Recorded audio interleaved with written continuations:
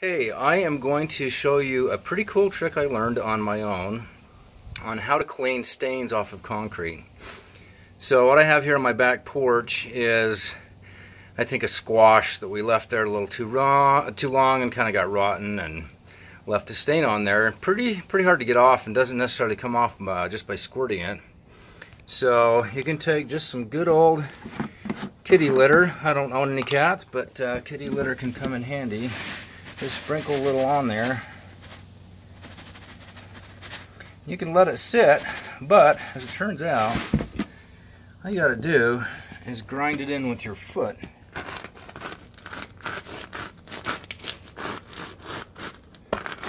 Just uh, gonna take a good heavy shoe with some good tread or whatever and just grind it in.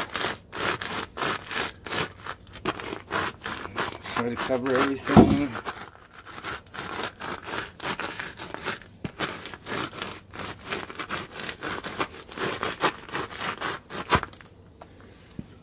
And look at that.